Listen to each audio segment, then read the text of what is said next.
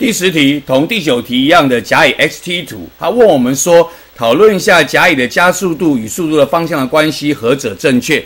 那我们从刚才的第九题答案当中，我们已经了解到，甲的速度是越来越快，而乙的速度是越来越慢。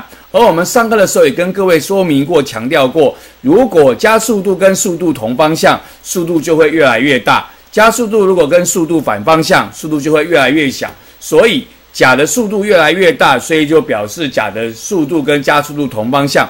乙的速度越来越慢，就表示乙的加速度跟速度反方向。所以呢，我们第十题的答案呢，应该是选择的是 B。甲的加速度跟速度同向，乙的加速度跟速度呢反向。